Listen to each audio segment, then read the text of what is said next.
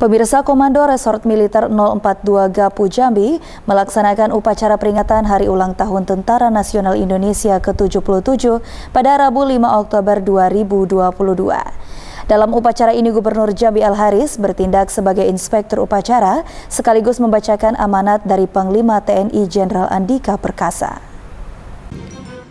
Upacara memperingati HUT TNI ke-77 tahun 2022 yang digelar di lapangan Makorem 042 Garuda Putih Jambi pada Rabu 5 Oktober pagi dengan tema TNI adalah kita berjalan lancar dan penuh hikmat.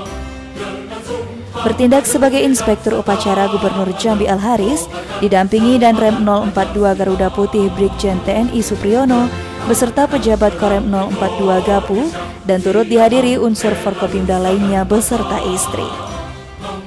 Dalam momen sakral ini juga dilakukan pemberian penghargaan atau penganugerahan Satya Tanda Kesetiaan dari Presiden Joko Widodo kepada prajurit Korem 042 Gapu yang telah setia mengabdi kepada TNI.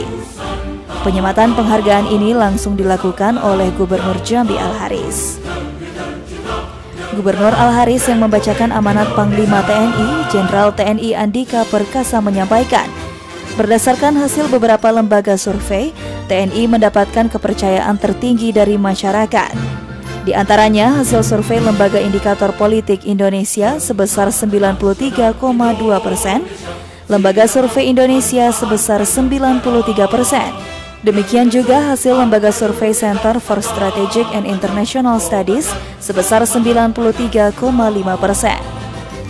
Gubernur Al-Haris dalam kesempatan itu juga mengapresiasi kerja besar kiprah TNI dalam membantu rakyat, khususnya jajaran Korem 042 Gapu dalam pembangunan di Provinsi Jambi banyak hal yang telah diperbuat oleh TNI dalam rangka bersatu dengan masyarakat dari mulai mengatasi masalah-masalah keamanan, kemudian juga persoalan-persoalan dalam dalam daerah, misalnya kiprah TNI dalam bidang TMMD, kemudian juga karya bakti TNI, kemudian juga mereka juga langsung terjun dalam rangka ketika kakar hutla di Jambi, ada juga banjir, longsor dan semuanya lah ya semuanya cukup banyak peran TNI yang langsung membantu masyarakat Jambi tentunya.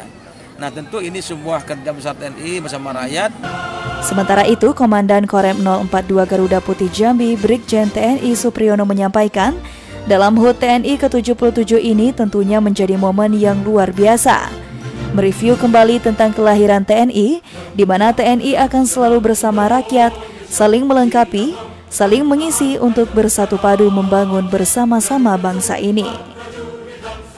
Ia juga berpesan kepada seluruh jajaran Korem 042 Gapu untuk bisa menempatkan dirinya untuk menjadi solusi bagi masyarakat kemudian meningkatkan kualitas dan juga nilai-nilai pengabdian dalam mewujudkan TNI bersama rakyat.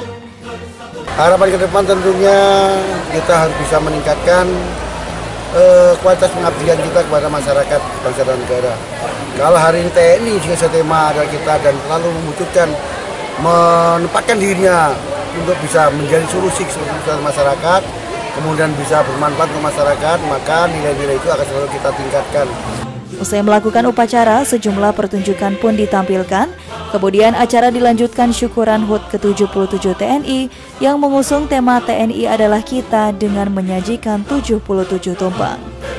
Rian Chen Chen, JEK TV, melaporkan.